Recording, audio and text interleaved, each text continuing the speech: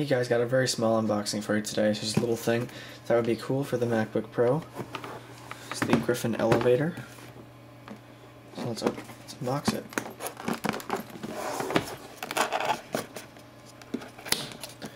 As you can see there, it's basically just a stand.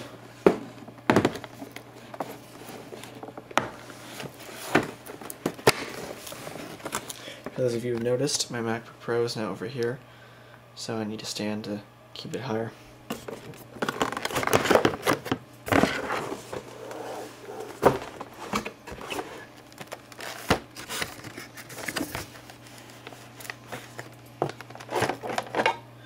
here are the legs.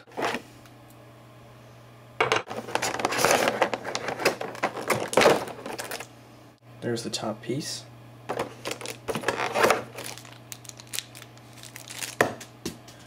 And yeah, that's pretty much it.